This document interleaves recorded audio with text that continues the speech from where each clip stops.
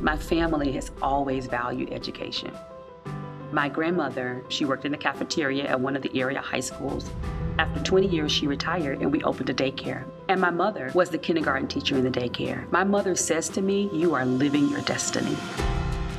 Because I see education as the great equalizer, it is important that our students have the absolute best in everything.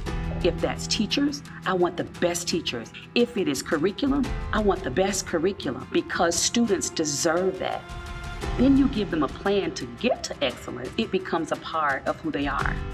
So, my goal is not only the work that we're doing with children, but it's also the work that we're doing with the adults because they are the ones that are going to ultimately take care of the children the first thing I do is ask questions.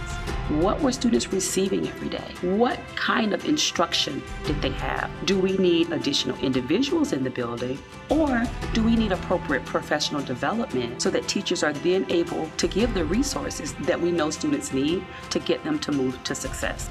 So when we start with the basic belief that children can do it, we can roll our sleeves up, start with the data, and we will impact change. I have been an educator my entire life, from teaching my dolls to teaching my younger sister to teaching Sunday school at the age of 12. Education has always been a part of my life's work. My grandfather was my pastor and he was my minister. He gave of his time, of himself, and of his talents. I do the same thing. Education is my ministry. It is my passion. It is my service. I believe that all children can be successful. I believe that to my core.